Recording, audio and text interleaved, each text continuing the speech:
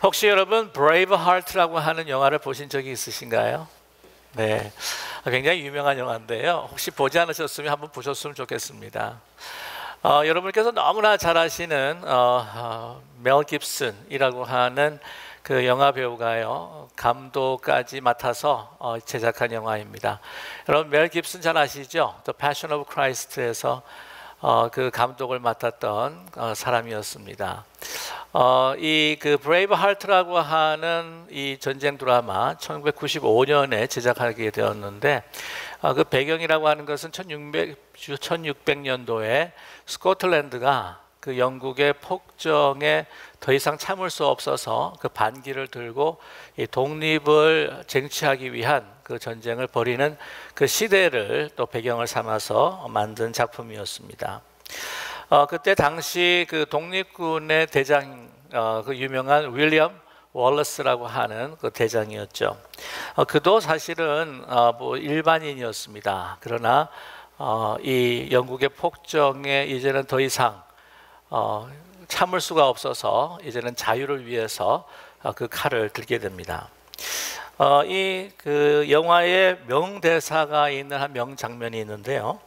어, 이제 완전히 무장된 영국 군대를 맞아 가지고는 어, 이제 싸우기 바로 직전에 이그 윌리엄 월러스가 하는 말이 있습니다.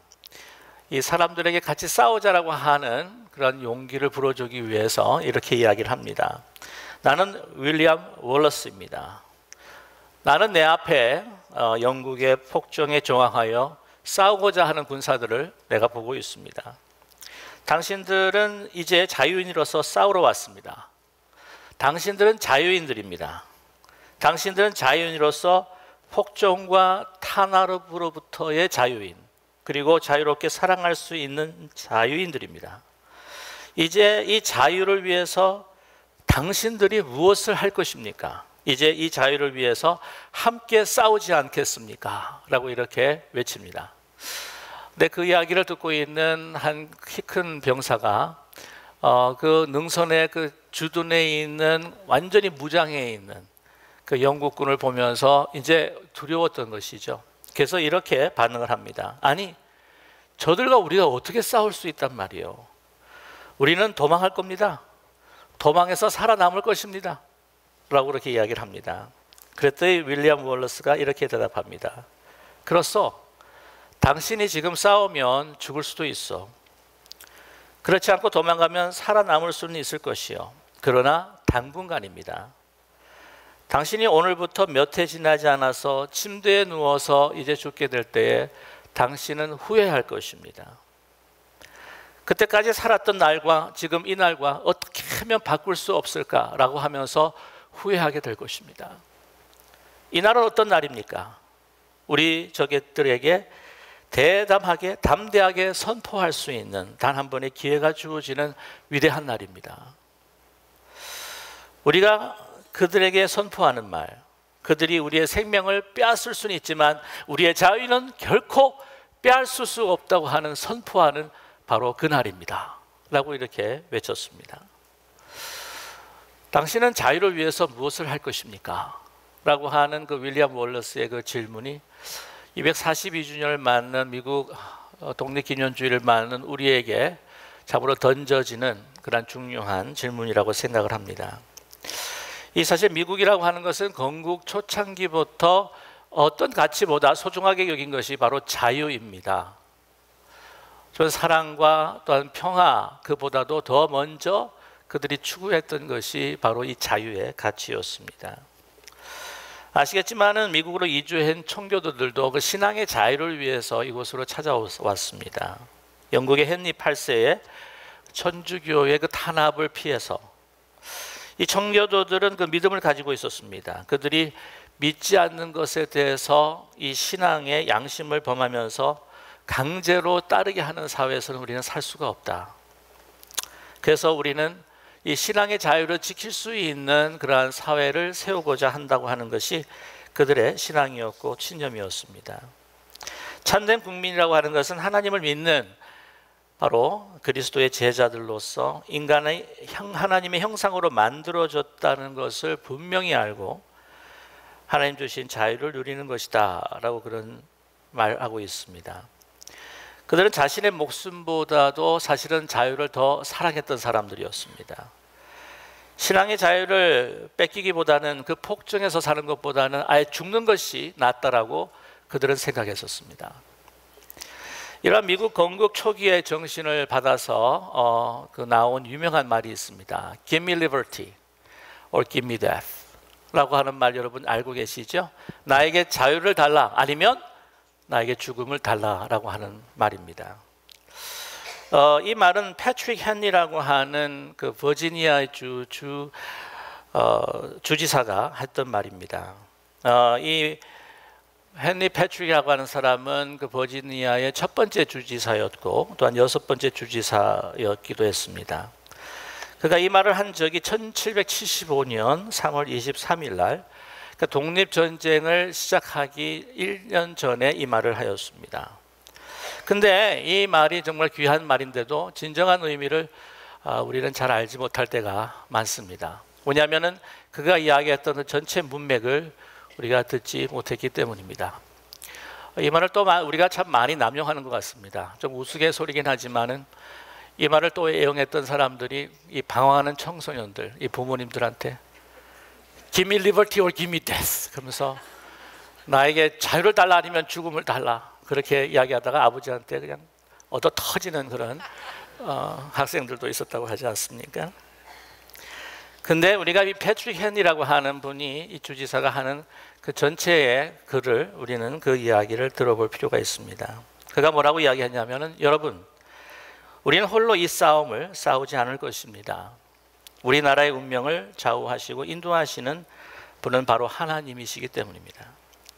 하나님은 우리의 싸움을 함께 싸워줄 친구를 일으켜 주실 것입니다.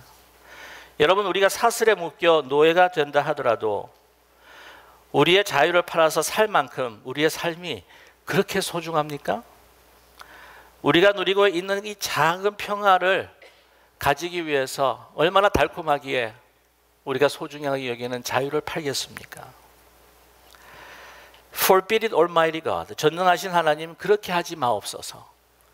허락하지 마옵소서. 그러면서 하는 이야기가 Give me liberty or give me death. 나에게 자유가 아니면 죽음을 주십시오. 다른 사람은 어떤 선택을 한다고 할지라도 Give me liberty or give me death 라고 이렇게 이야기합니다. 이것을 보면 하나님의 가치로 토대한 자유라고 하는 것을 우리는 알 수가 있습니다. 그리고 이 자유에는요, 너무나도 많은 값을 치를 수밖에 없었습니다. 그래서 제가 오늘 어, 말씀 제목을 뭐라고 잡았냐면 Freedom is not free라고 그렇게 잡아 보았습니다. 본래는 이제 한국말로 이게 먼저 쓰고 이제 영어로 뒤에 쓰기는데 자유는 거저 주어지는 것이 아닙니다. 이게 확 다가오지를 않아요. 그래서 먼저 주부에는 영어 타이틀을 썼습니다. Freedom is not free.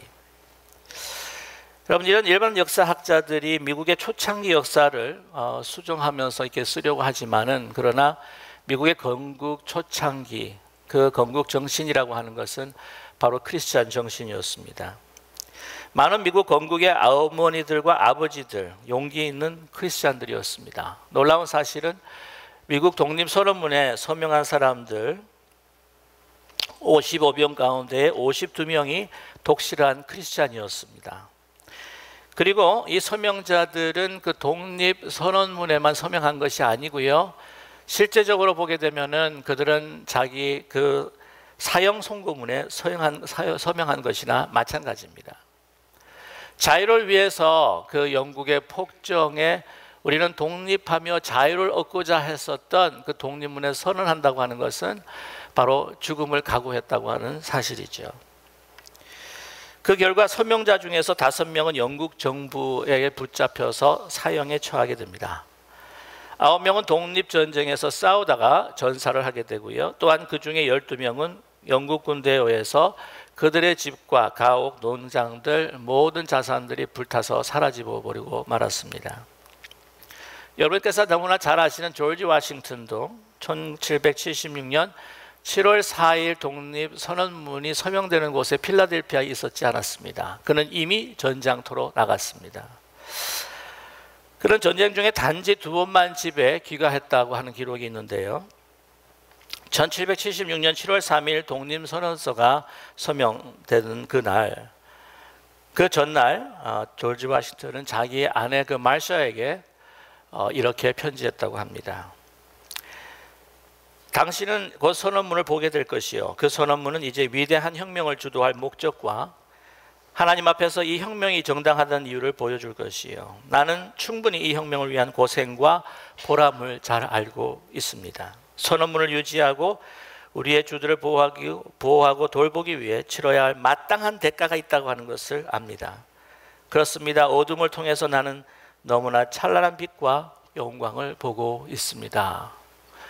이 자유를 가지기 위해서 치러야 할 대가가 무엇인지 그는 정확하게 알고 있었다고 하는 것이죠. 이 소중한 자유는 바로 하나님을 향한 믿음의 발로로 그들에게 주어진 것이었습니다. 미국 건국의 아버지들은요, 이 하나님의 가치를 가지고 이 자유의 소중함을 너무나 잘 알고 있었다고 하는 것이죠. 어, 조지 워싱턴의 어, 그 기도를 들어보게 되면은 이러한 자유를 우리 국가의 민족과 나라의 자유를 얻기 전에 먼저 자기네 개인이 하나님 앞에서 그리스도 안에서 자유를 누리기를 원했습니다. 그래서 그 죄에서 자유함을 위한 기도를 드린 적이 있습니다.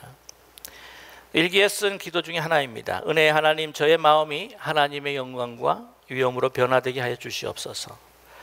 나 자신의 일을 하려고 하지 말고 먼저 하나님을 기다리게 하여 주시옵소서. 나에 맡겨진 무거운 책임을 주님 앞에 내려놓게 하여 주시옵소서. 먼저 저는 저의 죄를 씻어 주시는 하나님의 임재를 간구합니다. 동의서에서 먼 것처럼 나의 죄를 용서하시고 그리스도의 은혜로 먼저 저를 받아 주시옵소서라고 그렇게 기도하였습니다. 여러분 우리 미국의 건국의 아버지들은 바로 이렇게 기도하며 그리스도 안에서 먼저 자유를 누리기를 원했던 사람들이었습니다. 그리고 그 기도를 결코 잊지 않았던 사람들이었습니다. 벤자민 프랭클린에 대한 많은 이야기들이 있습니다. 그는 크리스찬이 아니라 Deist다. 여러분 Deist라고 하는 것은 바로 어, 이신론자라고 하는 것인데요. 이신론자라고 하는 것은 하나님께서 이 우주를 창조하시고 인간을 창조하셨지만 저 멀리서 관망하면서 간섭하지 아니하시고 그냥 바라보시는 그러한 신적인 존재다라고 하는 것을 믿는 사람이 바로 이신론주의자라고 하는 것입니다. Deist라고 하는 것이죠. 바로 그 사람이 벤자민 프랭클린이라고 하는 평가하는 사람도 있지만 그러나 그의 기도를 들어볼 때에 그렇지 않습니다. 기도할 때에 그의 삶의 변화, 그가 죄에서 자유를 누릴 수 있다고 하는 그러한 그 기록들을 우리는 볼 수가 있습니다. 기도해야 한다고 하는 것. 그랬을 때에 예수님께서 요한복음에서 말씀하시는 것처럼 가까운 친구처럼 우리에게 오셔서 우리를 보호해 주신다고 하는 그러한 말씀을 전하는 전도자처럼 그는 많은 이들에게 감동을 주었습니다.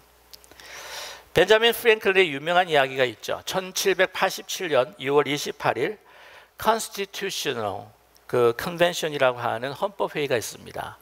Conventional 어, 그 Constitutional Convention이라고 하는 것은 바로 이 헌장, 미국의 헌법, 헌장을 만드는 그러한 모임이었죠.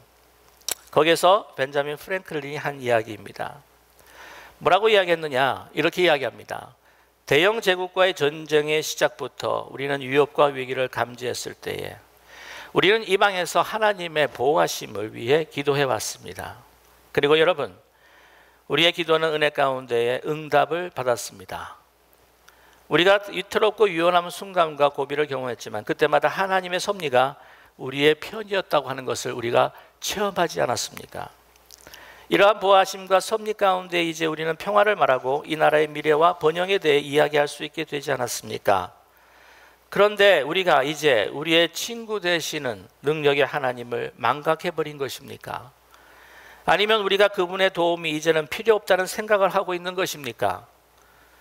그러므로 저는 여러분이 동의해 주기를 간절히 바라며 호소합니다.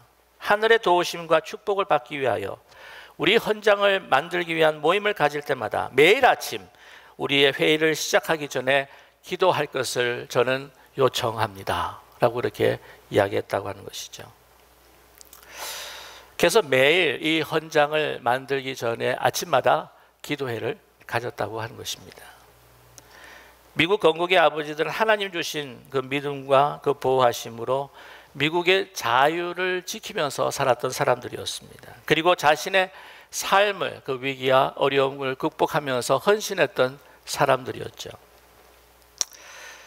여러분, 미국의 자유를 지키기 위해 백인뿐만 아니라 흑인의 자유를 지키기 위해 나섰던 사람이 여러분이 너무나 잘 아시는 아브라함 링컨 대통령이었습니다. 그는 노예 제도가 있는 것이 unconstitutional, 그러니까 헌장에 위배되는 것이다라고 그는 주장하였습니다. 우리가 하나님 안에서 하나님의 형상으로 지으심을 받았다면 평등하고 자유로운 존재라고 하는 것, 그 신앙 안에서 이 노예 제도를 타파하기 시작했습니다. 여러분 아시겠지만은 이 노예 제도를 철폐하고 또한 노예들에게 해방을 주기 위해서 남북 정쟁이라고 하는 것이 일어났습니다. 많은 피를 흘렸죠. 왜? 진정한 자유의 땅을 만들기 위해서였습니다. 아브람 링컨의 유명한 말이 있죠. 노예와 자유인은 결코 공존하지 않는다라고 하는 것입니다. 다른 역사가들의 평가가 있습니다. 이 노예 제도 철폐를 이 자신의 어떤 정치적인 목적을 위해서 사용한 흔적이 있다라고 이렇게 평가하는 사람도 있지만 그러나 저는 그렇게 결코 그렇게 생각하지 않습니다. 링컨 대통령이 노예 해방을 위한 남북 전쟁을 치를 때에 그 남북 전쟁을 반대했던 강요들이 이제 그 링컨 대통령이 찾아와서 이렇게 이야기합니다. 협박한 것이나 마찬가지죠. 당장 이 남북 전쟁을 그치지 않으면 우리는 이 모든 이 자리에서 사퇴하도록 하겠습니다. 그랬을 때 하루만 생각할 여유를 달라고 그들에게 이야기를 합니다. 그리고는 하루 종일 밤새 하나님 앞에 무릎 꿇고 기도했었습니다. 하나님, 우리의 우리를 의의 길로 인도해 주십시오. 바른 길이 어디에 있는지, 의로운 길이 어디에 있는지 가르쳐 주시옵소서라고 기도했다고 합니다. 다음날 아침 강요를 불러놓고 이렇게 이야기했다고 합니다. 자유와 노예가 공존하는 나라는 결코 존재하지 않습니다. 그래서 노예 해방 운동을 중단 없이 밀어붙였다고 하는 것이죠. 뿐만 아니라 미국은 우리 자유 대한민국과 참으로 많은 연관이 있는 나라입니다. 그렇지 않습니까? 일본 강점기에 있었을 때에 2차 세계대전 참전한 미국으로 인하여서 우리는 자유 독립을 얻게 되었습니다. 뿐만 아니라 지난주 월요일이 6.25 동란이 발발한 지 68주년이 되는 해입니다. 6.25 전쟁 기간 국군 사망자가 13만 7,899명이라고 통계가 나와 있고요. 그리고 부상자가 45만 742명입니다. 여러분 우리 대한민국이 북한국과 맞서서 자유를 지키기 위해서 많은 피를 흘렸습니다. 우리 한국 대한민국의 사람들이기에 이 땅을 지키 우리 땅을 지키기 위해서 싸웠다고 하지만 그러나 우리의 민족도 아니요 우리나라 국민도 아닌 그 연합군들이 와서 많은 피를 흘렸다고 하는 것이죠. 당시 유엔군 사망자가 3만 7,902명 그 가운데에 미국 사망자가 3만 3,686명을 가장 많이 차지하고 있었고요. 영국군은 1,780명, 터키군 996명, 캐나다군이 516명으로 통계가 나와 있습니다. 부상자는 10만 4천, 10만 3,460명입니다. 여러분 많은 피를 그 자유를 수호하기 위해 자기 나라도 아니지만은 와서 그 많은 피를 흘린 것이 아니겠습니까? 그래서 어, 이 워싱턴에 있는 한국 기념탑에 보게 되면 freedom is not free라고 하는 그 글귀가 적혀 있다고 합니다. 어, 그 저는 이제 캐나다에서 이제 살면서 한 번은 양로원에서 그 목회를 한 적이 있었습니다. 그래서 어, 그때 한 할머니를 제가 잊지 못하는데 캐나다 할머니시죠. 근데 이제 방에 들어가 보니까 이제 다른 분들 그 방에 들어가게 되면 참 사진들이 참 많은데 이분 들어가 보니까 이렇게 사진이 그렇게 없는 별로 없는 거예요. 그 봤더니 어, 자기 아들 그리고 그 군복을 입은 자기의 남편, 자기가 함께 찍은 그 사진을 하나 보게 되었습니다. 그 옆에는 어, 자기 아들 군복을 입고 자기 엄마가 이렇게 같이 함께 찍은 그 할머니가 함께 찍은 그 사진이 이렇게 놓여 있고요. 이야기를 쭉 들어보니까 남편은 어, 2차 세계대전 때 어, 전사를 했었고요. 아들은 6.25 동란 때에 전사를 했던 것이었습니다. 그러니까 별로 이렇게 사진이 많이 남아있지 않는 거예요. 근데 그거를 이제 가슴 속에 늘 이렇게 깊이 생각하면서 저희 그 어머니 집을 가끔씩 이렇게 방문해 보게 되면은 뭐 제가 작년에 한번 초에도 갔다 왔습니다만은 어, 저희 어머니가 구순이 훨씬 넘었습니다. 어, 그런데 이제 그 벽에 보게 되면 팔순 때 찍은 그 사진이 있어요. 거기에 보게 되면 그 자, 자식들 결혼해서 낳은 손주들 이렇게 한 그 팔순 잔치 그 사진 가족 사진 보면 이 식구들이 가족들이 그득하게 이제 다 있는 겁니다. 근데 갑자기 그런 생각이 드는 거예요. 이렇게 초라한 사진들을 가지고 있는 그 할머니의 삶으로 인해서 이렇게 우리가 참 풍성한 많은 가족들의 사진들을 가지고 자유를 누리게 된 것이 아닐까 하는 생각을 갖게 되었습니다. 여러분, freedom is not free. 정말 자유라고 하는 것은 그냥 거저 주어지는 것이 결코 아니라고 하는 것이죠. 우리가 누리고 있는 그 자유를 위해서 참 수많은 사람들이 희생을 당하고 많은 피를 흘렸다고 하는 것을 우리는 결코 잊어서는 안 될 것입니다. 그러나 우리는 이 소중하고 귀한 자유를 우리는 너무나도 가볍게 생각할 때가 얼마나 많습니까? 뿐만 아니라 이 자유를 가지고 우리는 방종하면서 남용하면서 살아갈 때가 얼마나 많습니까? 결코 그렇지 말아야 한다고 하는 것이죠. 남북 전쟁의 마지막 날이었다고 합니다. 이 남군이 이제 다 밀려서 수도 리치먼 버지니아에 이제 주둔해 있다가 유니언군의 공격에 의해서 이제는 다 어, 함락하게 되었습니다. 그날 아브라함이 이 도시를 방문하게 됩니다. 직접 이 노예 해방이라고 하는 것을 이 노예들에게 선포하고 그들과 함께 기쁨을 누리기 위해서 그곳으로 왔던, 왔던 것이었죠. 아무도 예상하지 못했습니다. 이 노예들이 어, 아브라함 링컨의 모습을 보면서 그냥 벌떼처럼 몰려들면서 정말 감사했다고 하는 것이죠.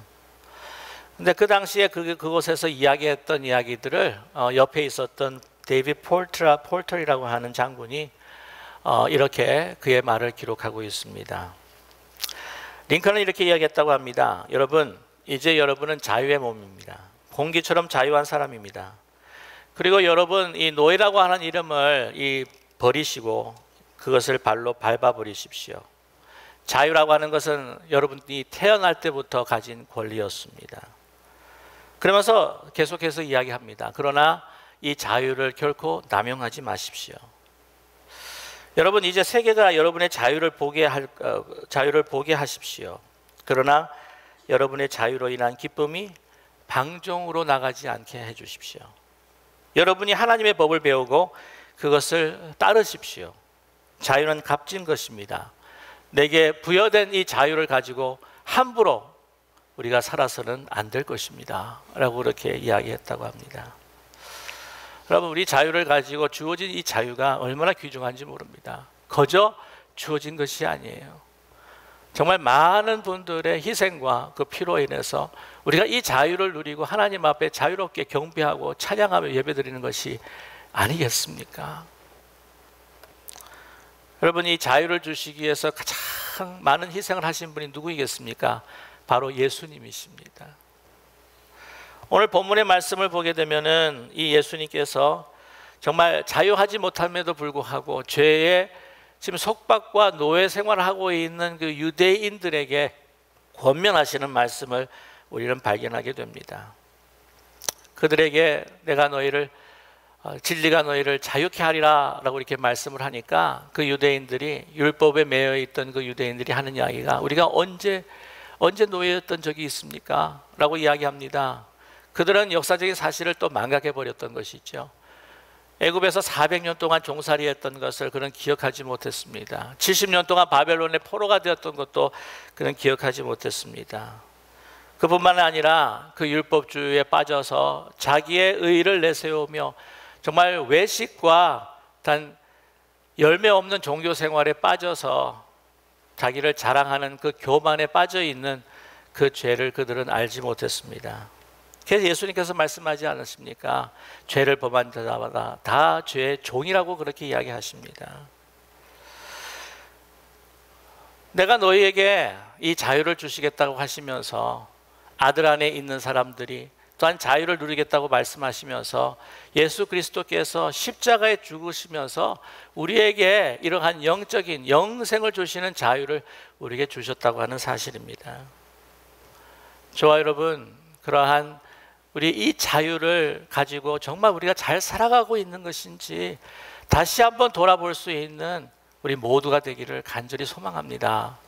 국가적으로 또한 교회적으로 우리 개인의 삶에 있어서 우리에게 주신 이 자유, 예수 그리스도께서 주신 그 자유, 그리스도의 그 자유를 기반으로 해서 세워진 이 국가에서 국가에서 살면서 누리는 이 자유, 이 자유를 가지고 우리는 얼마나 잘 살아가고 있는지 윌리엄 월러스의 그 말, 이 자유를 위해서 당신은 무엇을 할 수 있습니까?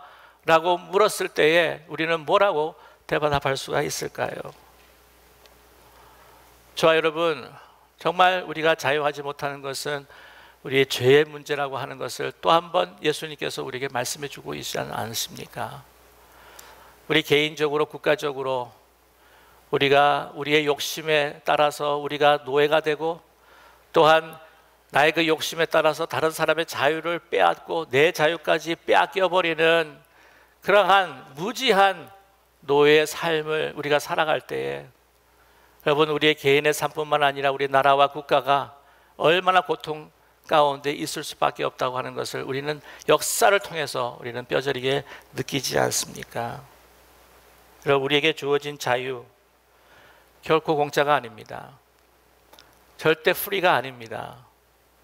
우리의 자유를 위해서 그리스도께서 우리를 위해서 죽으시고 희생하신 것처럼 이 자유를 위해서 그 자유의 정신을 가지고 많은 사람들이 희생하고 피를 흘렸던 것처럼 그 귀중한 자유를 우리가 함부로 남용하거나 함부로 방임하면서 함부로 방종하지 않는 그러나 진정 이 자유를 위해서 이 받은 자유를 위해서 우리가 어떻게 해야 할 것인가 예수 그리스도의 십자가의 삶을 바라보며 따라가는 우리 모두가 되기를 간절히 소망합니다. 저와 여러분, 우리 기쁜 우리 교회, 우리 한인 교회로서 어, 개토화되지 아니하고 우리 주위의 다민족의 가족들 또한 대한민족의 사람들을 바라보면서 처해 있는 많은 문제에서 허덕이고 있는 종되고 노예된 그 사람들을 여러분 우리의 섬김과 복음을 가지고 그들을 해방시키고 자유케 하는 그리스도의 사역에 동참하는 우리 모두가 되기를 간절히 소망합니다.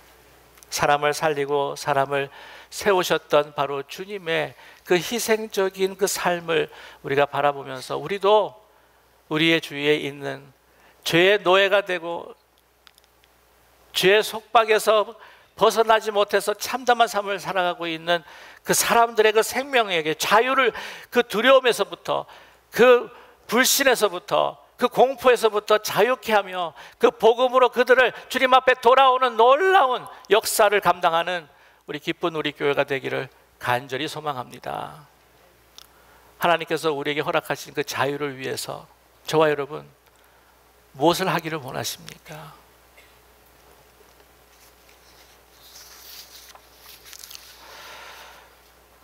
섬김과 사랑을 통해서 우리 교회가 우리 교회 지역, 이 미국, 나아가 모든 민족과 열방을 하나님의 구원으로 자유케 하는 우리 기쁜 우리 교회 사명 있는 우리의 이민의 삶이 되시기를 주님의 이름으로 간절히 축원합니다.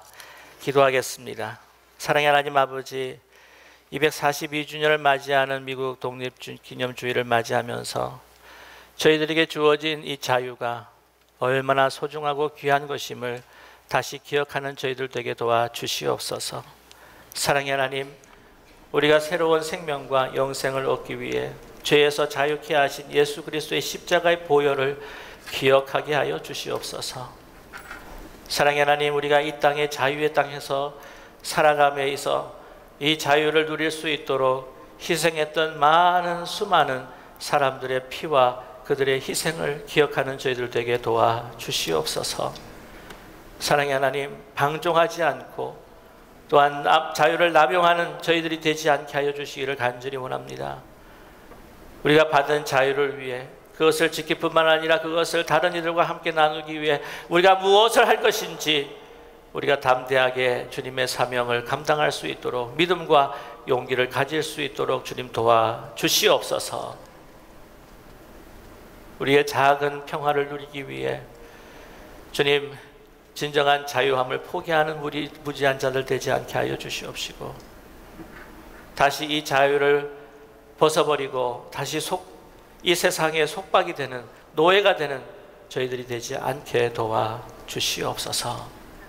예수 그리스도의 이름으로 감사드리며 간절히 기도드립니다. 아멘.